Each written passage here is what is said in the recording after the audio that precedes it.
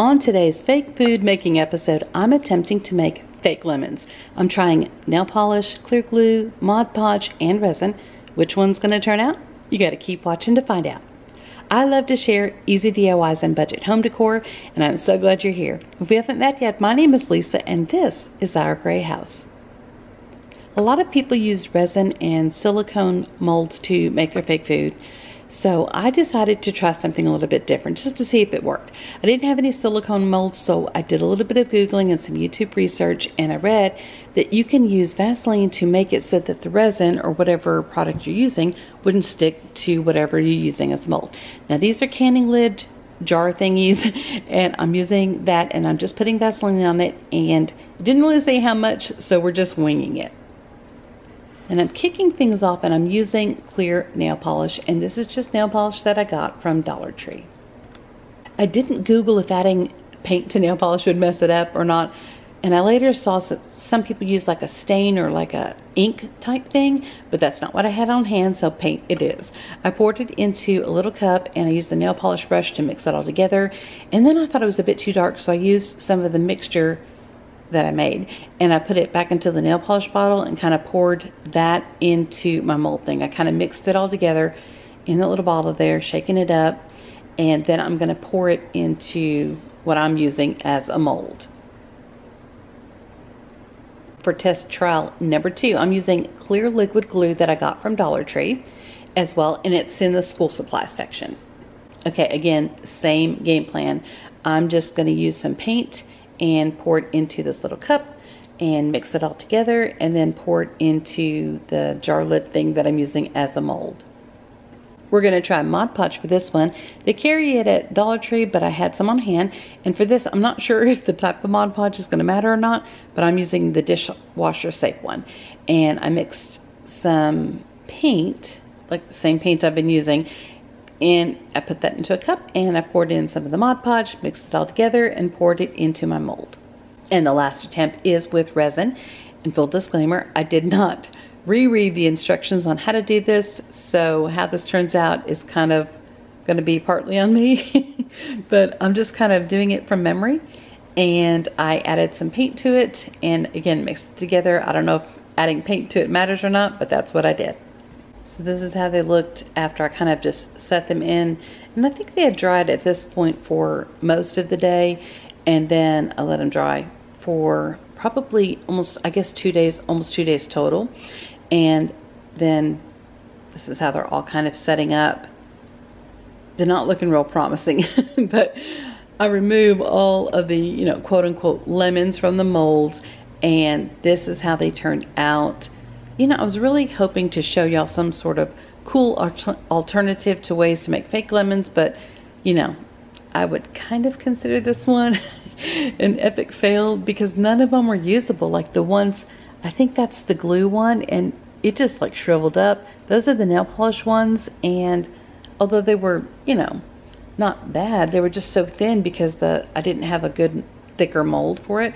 That was the Mod Podge one, and it was still wet when I pulled it out of the mold. So, you know, they just didn't turn out, y'all. So today's video is part of an awesome fake sweets collab and I joined some really amazing creators and we were challenged to make fake foods but choose something sour.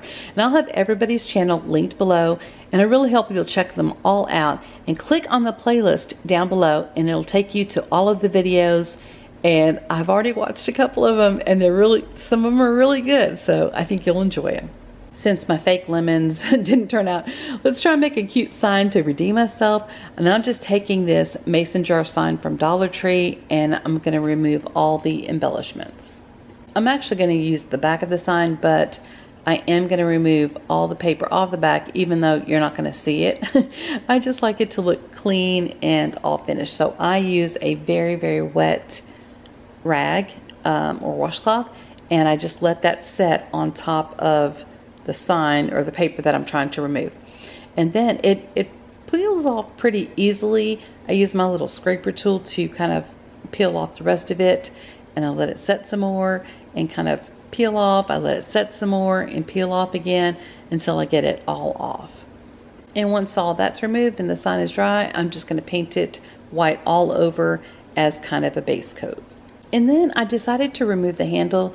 Just wasn't feeling it to be honest. So I used my scissors and it was easy enough to cut off just like that. I didn't have to, wasn't really any effort or anything like that to get it cut off.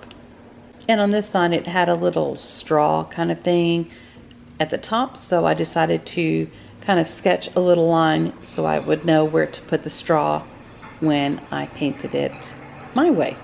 And I'm taking this really pretty blue color and I'm going to paint the top half of it this blue color. And of course, I'm avoiding the straw area because I don't want the straw to be blue. and since this is going to be a mason jar filled with lemonade, I'm taking my new favorite maize paint and I'm painting the bottom half yellow. I'm using a pretty watermelon color to start painting in the stripes on the straw. And then I'm taking another yellow color.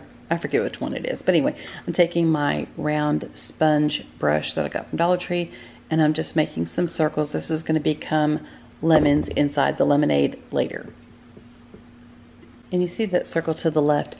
That was going to be a lemon that I was going to kind of put at the top. I decided not to. So I'm taking another shade of yellow and kind of painting in some like the lemon sections and just trying to give it some different dimension and not just look like a flat painting. And then I decided I didn't like the color. so I went over it with like kind of a pink color to kind of soften the, I don't know, it just seemed like kind of like a really bold color. And it wasn't really jiving with the rest of the colors. So that's why I kind of went over it with the pink paint. And then I took my black paint pen and I started outlining everything just to kind of add a little fun and whimsy. And yeah, I was making this little slight lemon slice thing. I just, it didn't like it. So I ended up not using it. And I take the white paint pen and I add some highlights around everything. And yeah, just kind of um, adding little touches here and there as I see. And this is how it turned out. I did add a decal that says Happy Summer. I used my Cricut to make that, but you could certainly hand letter it as well, or trace it on, or use stickers. And I think it turned out, I think it turned out super cute. Although the straw probably needs to be a little higher. Maybe I should have kind of added something to make it a little bit higher. But overall, I think it turns out really cute. And you know, while it's not the fake lemons I was trying for, it works.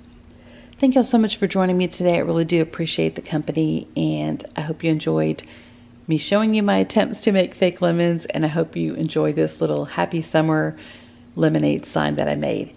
And if you want to follow me on social media, like here on YouTube or over on TikTok or Instagram or Facebook, my handle is Our Gray House. But just don't follow me in real life though, because that's creepy. Bye. Oh, and don't forget, the links to the channels and the playlist is going to be in the description box, as well as the link to my Facebook crafting group. So check it out.